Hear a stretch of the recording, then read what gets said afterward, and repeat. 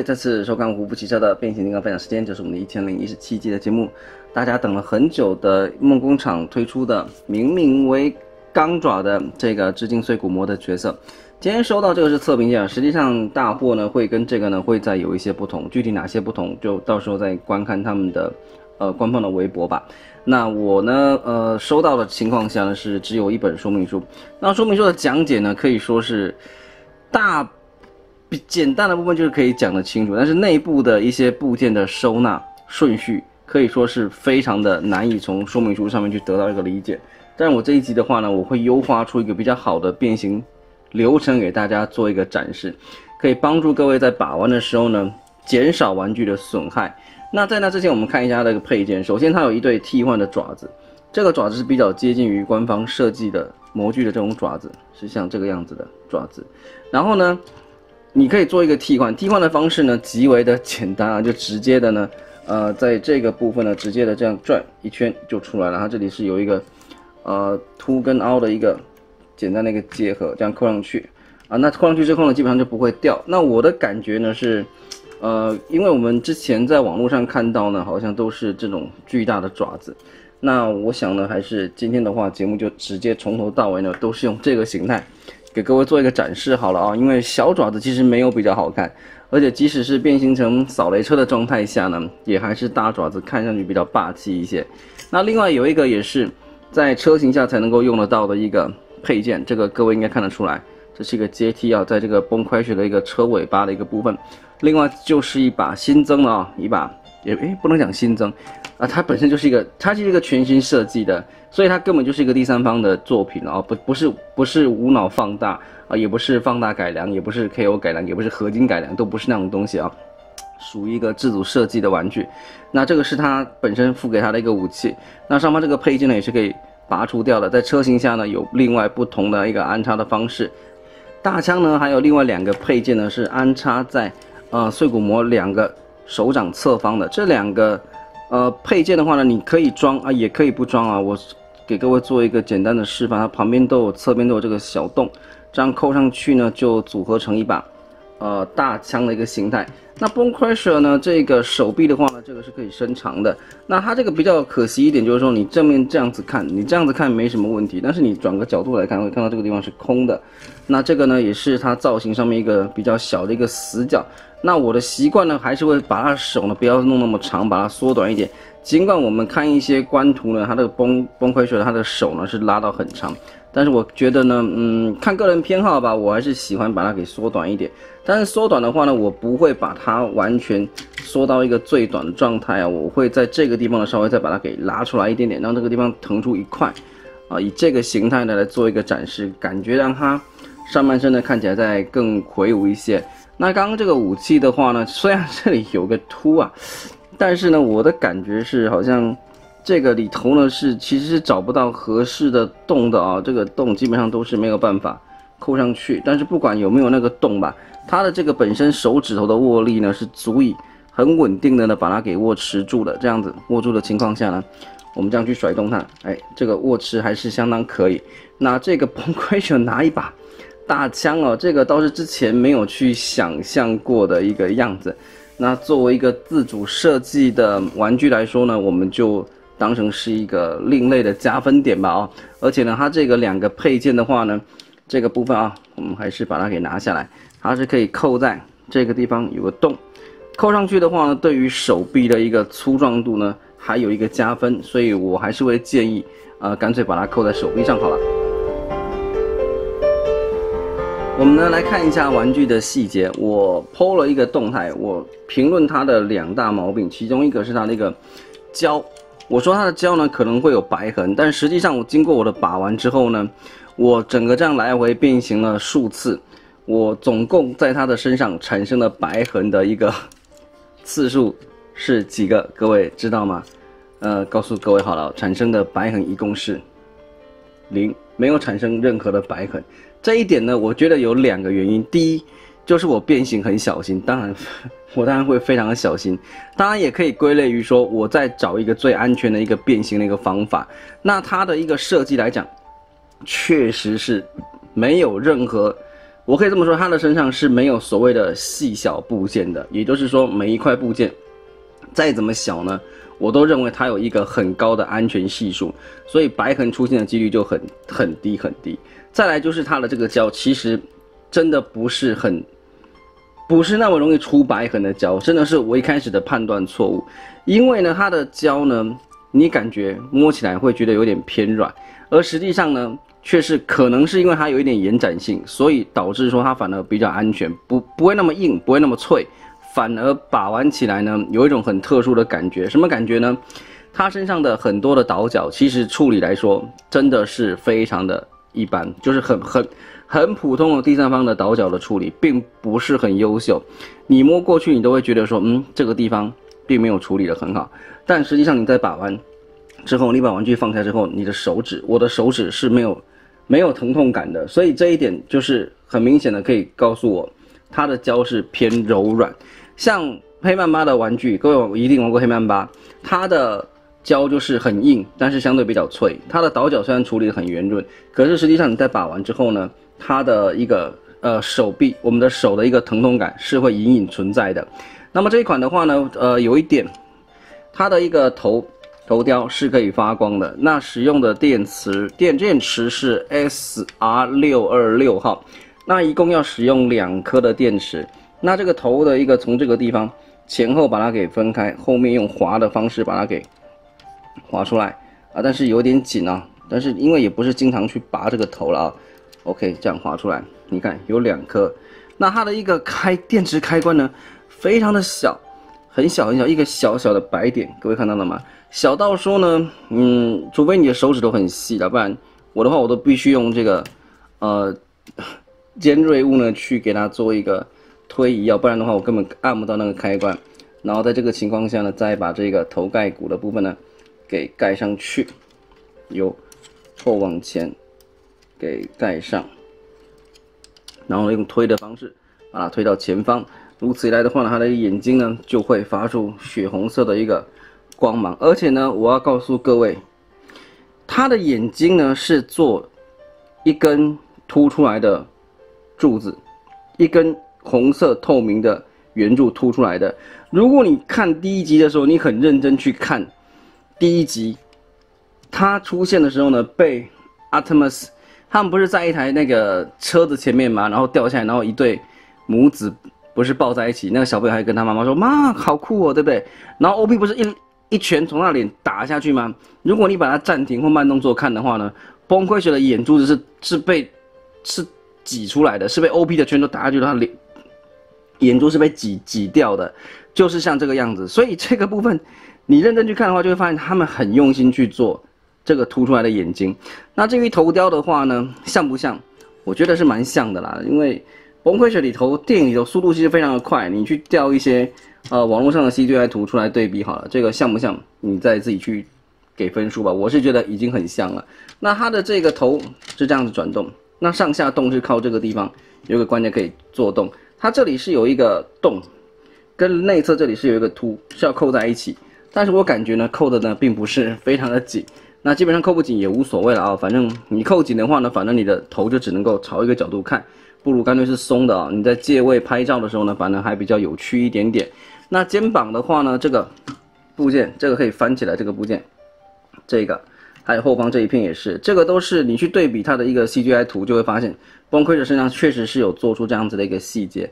那它的本身的上半身的一个结构呢，很稳定，扣的非常的稳，特别是在这个呃手臂的变形的时候呢，它是，嗯，这个可能变形的时候再跟各位说好了，它的这个主要的身体的结构是中心点，然后肩膀是一个。部件，然后两手再是一个部件，到时候变形的时候是用这三个方式去做一个拆解。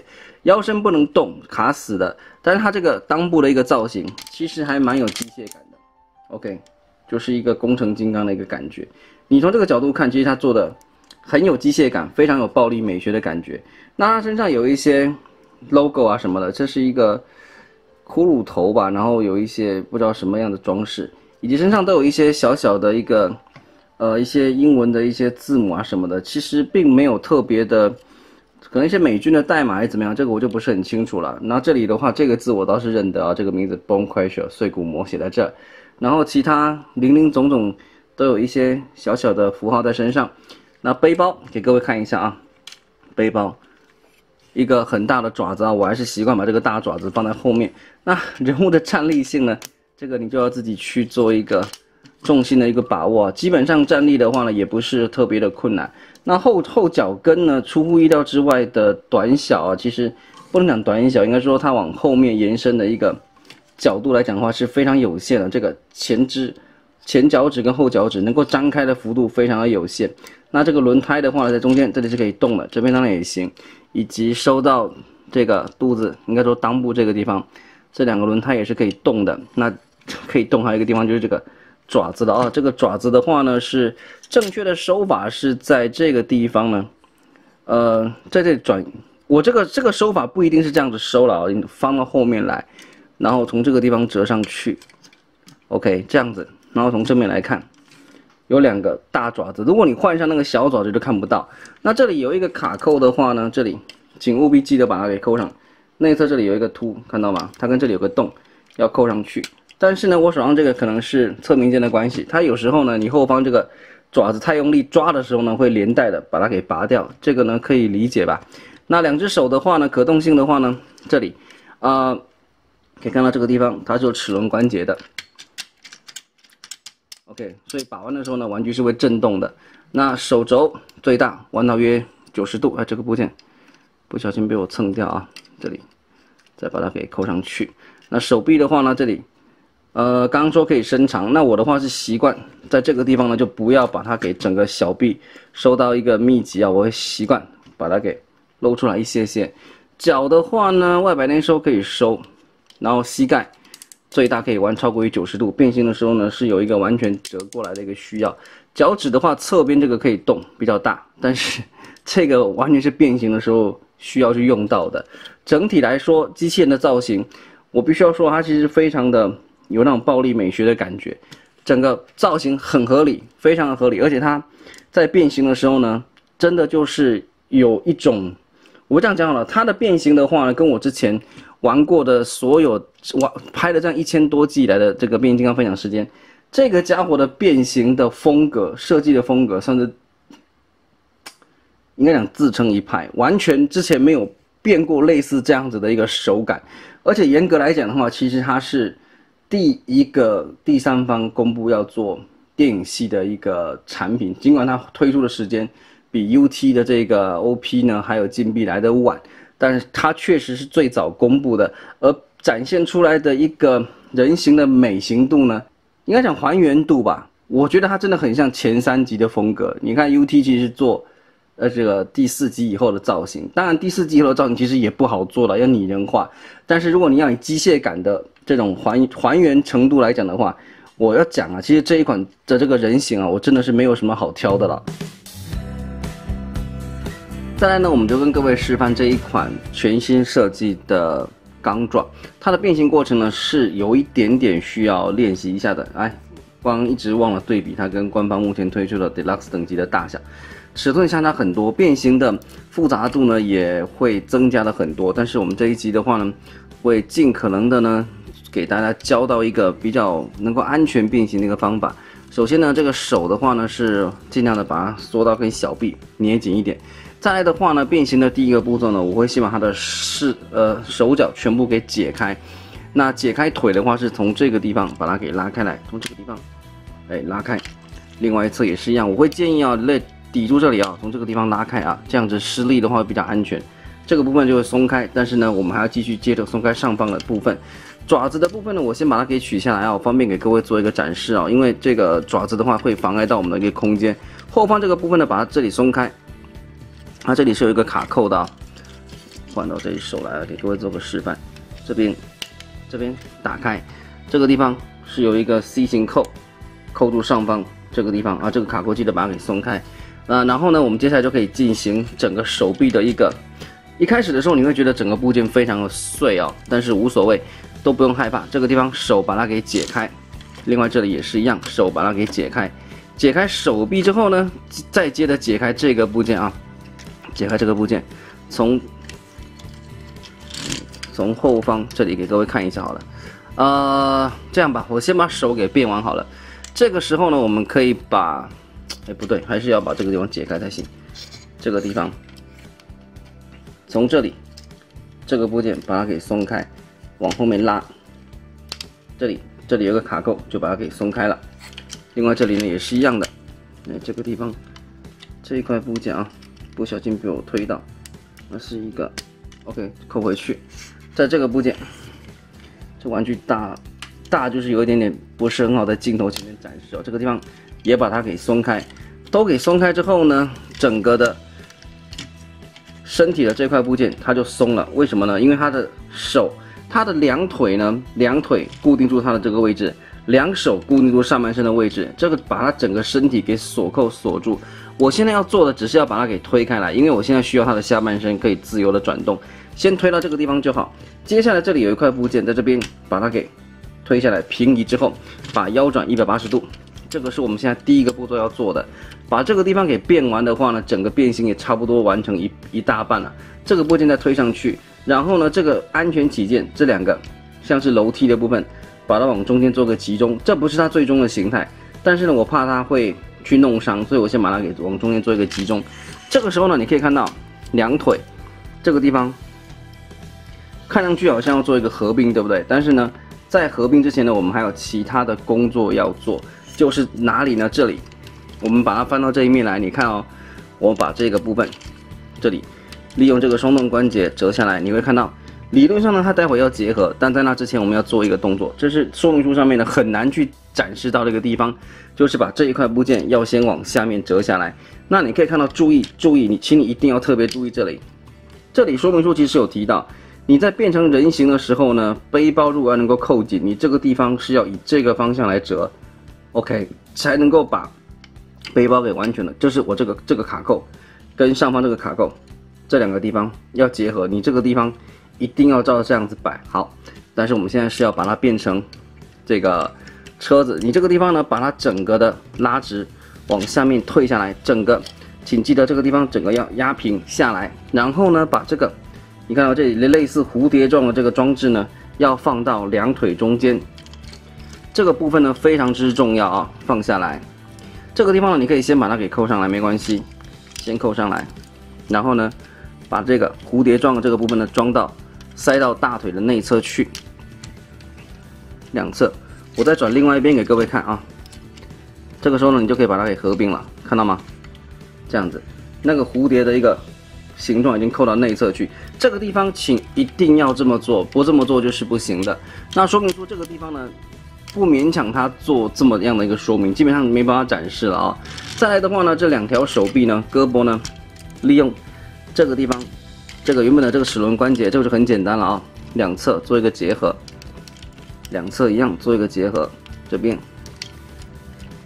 当你的变形呢变到这个地方的时候呢，它的这个这个钢爪的变形已经完成了至少三分之一，甚至可以说是，呃，完成了一半左右了。接下来的话，我们把两腿后方做一个合并，这个小腿的部分呢收到下方去，当然这个指指脚趾头呢把它收起来，到这边这块部件呢把它给双动关节拉出来，往这边折，这边再折过来。双动关节在这个玩具身上呢用的非常的多，把玩起来的时候呢，我有一种。呃呃，那个领袖之证 First Edition 系列的玩具的感觉，利用大量的双动关节去做一个零件的推移，它是真的是很有代入感，非常合理的一个，非常真的有还原电影里头那种机械推移的感觉。这个这么说，可能大家大家比较容易去理解。好的，先变到这边啊，然后这个脚的话呢，可以往上面，你看到这个地方有一个凸，上方对应。有一个洞，从这边扣上去，然后呢，这边这两个，这边这个翻上来，这个先不要，这是留到最后再扣就可以了。我们把腿呢给往上面，这里把它抬一下，把它给扣进去。接下来呢，我们把这个头的话给缩进去好了。这个头的话呢，是这个部件压下去之后，然后呢，把这个头，这个头是这样的。OK，到这边。这个是它整个一个车子的一个基本的一个底盘在这里，呃，前方这里啊，我们干脆先把这个头给变完好了。头这个变形很很有趣，这两侧打开，打开之后，打开之后往前面来，然后呢，这个头的部分呢，崩溃学的这个是这样子，这个地方盖过来，然后你可以看到这个地方不是有个凸吗？那侧不是有个洞吗？这里要用塑胶的韧性把它给推进去，它会扣进去。两侧都一样，这个胶呢是有延展性，所以这样子推呢，基本上没有什么问题。这样扣进去，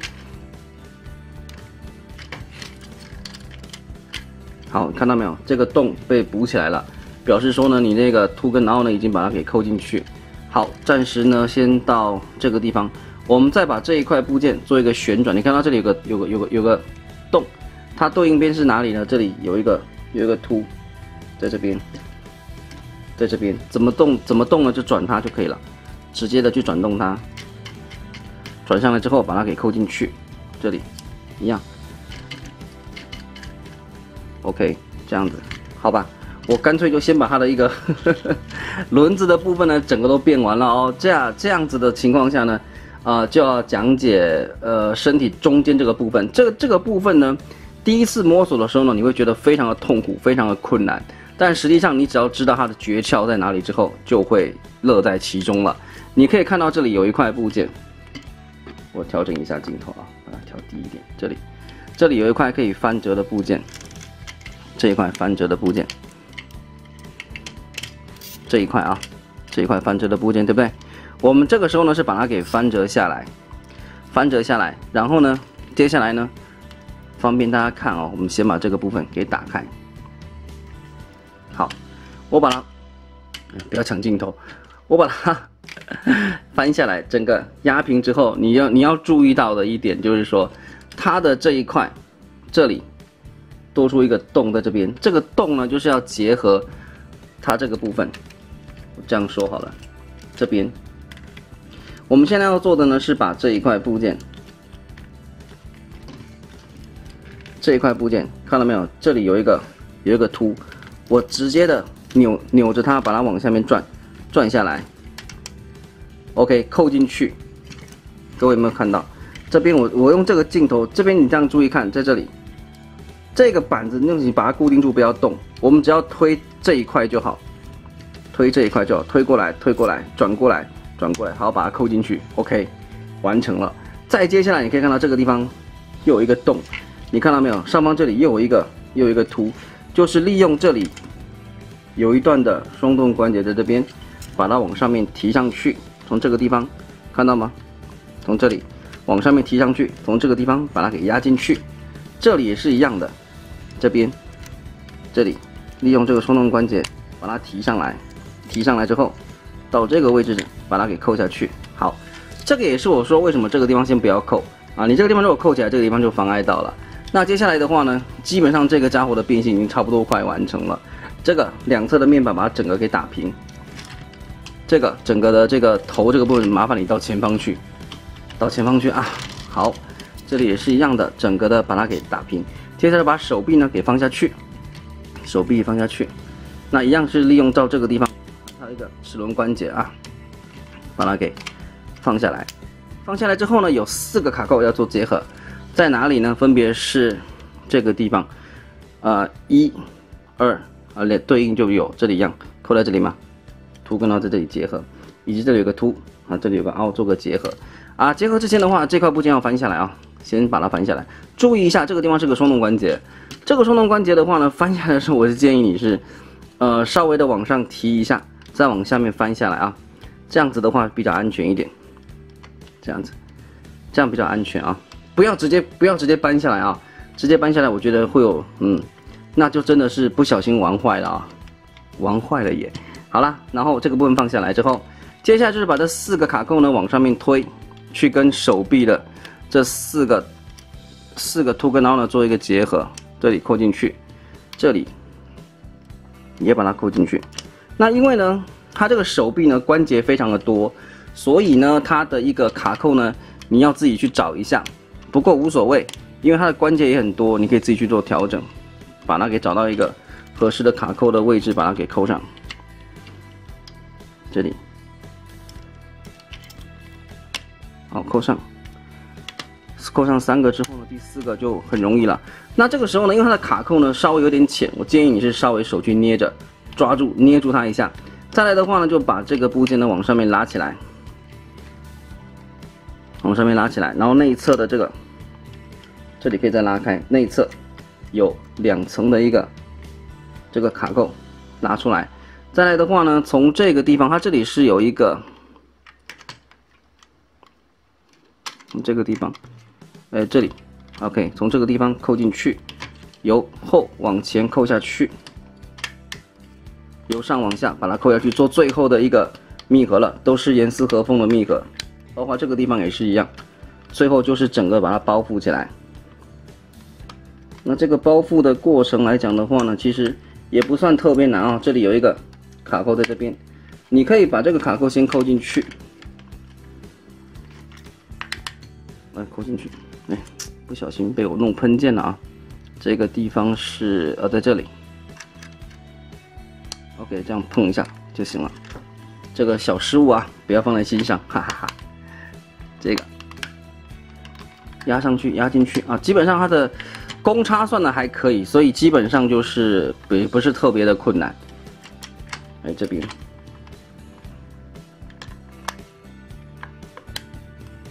嗯哼。密合密合。接下来的话呢，我们车尾巴，车尾巴这里，这里又崩开了啊。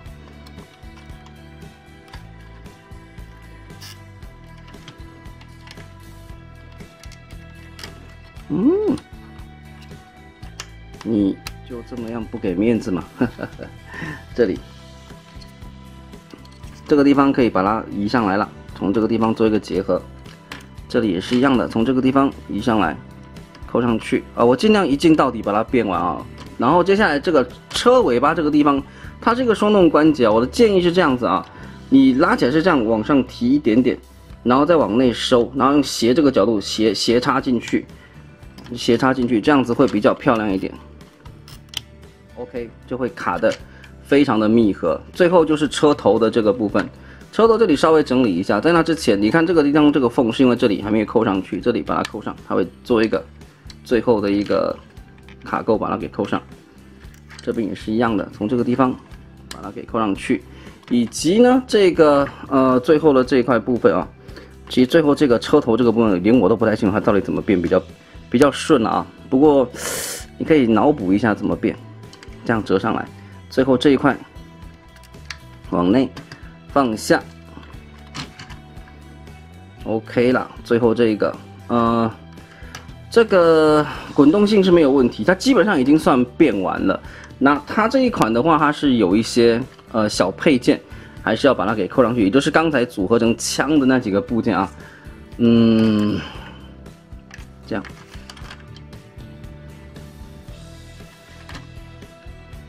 哎，我干脆先把这个爪子装上去好了啊。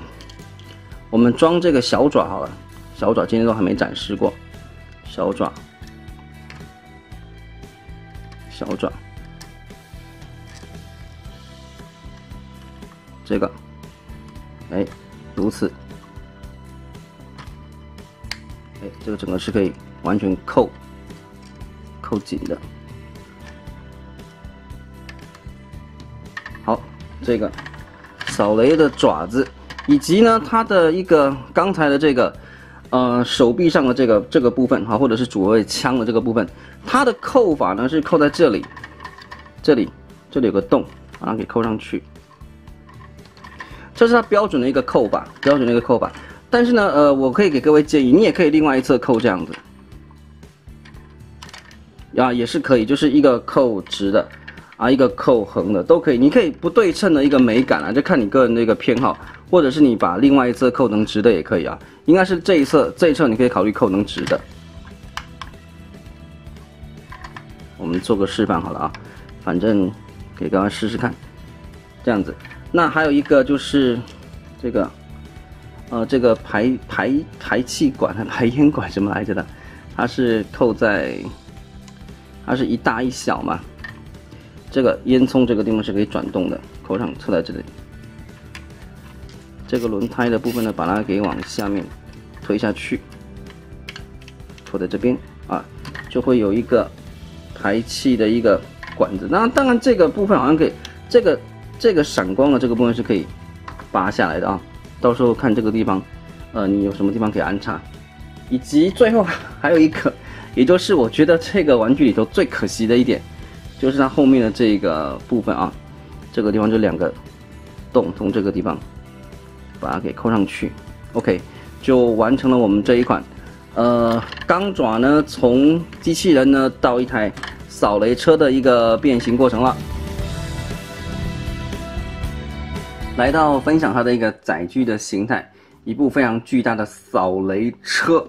具体的大小呢，我先拿出几款大家最近都很熟悉的 MPM 零四，零四放在它的旁边的话，比例是明显的不对的啊！你光看这个轮胎的大小。就知道这个 size 是不太正常的，你看大小尺寸是误差的非常的大。那没有想到零四的话是跟它差这么多。那我拿一个零九年时候的 Leader Class 的一个 Artemis 放在它的旁边呢，还是略显小了一点哦。基本上这个比例来讲都还是不对的。以官方的玩具要配的话，可能有点问题，大概要配 BC 或者是黑曼巴的版本呢，呃，会比较恰当一些。但是我已经懒得再变了。我为了录这个话，要我把多少要录多少比例尺给大家看啊。反正呢，各位呢，你如果呃，诶，会有人为了这个这个钢爪去特别凑一套新的比例出来吗？这个我就不晓得了。那但是呢，我们可以对比一下官方的 deluxe 等级的版本，大小相差很多。当然，主要是现在我们来对比一下它的一些啊基本的一个外观特征。首先的话，这个爪子的部分呢。略显的似乎单薄了一些啊！如果你跟官方的这个造型来相比的话，这个扫雷的这个爪子可以说是非常的细长，而它的一个可动的部分呢是前方这个地方可以转动，这个地方呢，呃关节的话呢比较多，你只要看到有这个螺丝钉的地方呢都是可以动的，而它这个地方有一个油压管啊，它这个油压管的一个装置是真的是可以这样子，有一个 OK 进进出出的一个。一个视觉的效果的，所以是真的啊。那这个地方呢还可以再动，以及呢它的一个部件来讲，在这里这个地方，它是有一个有一个比较另外做出来一个关节啊，你这里把它扣上啊，会比较紧一点。那如果你要反过来呢，也可以在这个地方本身，它在这个地方它还是可以再做一个转动啊，是这里啊。如果你想要从由上往下变成一个挖土机的一个概念，也是可以的。那前方的这个爪子的一个造型的话呢，把它拿下来给各位看。它这个呢，如果你要合合并的话，是两个这个缺口处是要扣在同一边的啊。当然你也可以这样同时的把它给扣上去。那这个地方呢，我们就暂时的呢再把它回到它原来的位置上，都是靠这一些转轴关节来做一个你想要的一个一个摆放的一个方式啊。这个还是推到最后方好了啊，这样子。OK，比较不占那么大的一个空间。那你可以看到它这个地方，它这个基本上呢，这几处的关节都做的还是蛮紧的，基本上并不会有松垮的状态。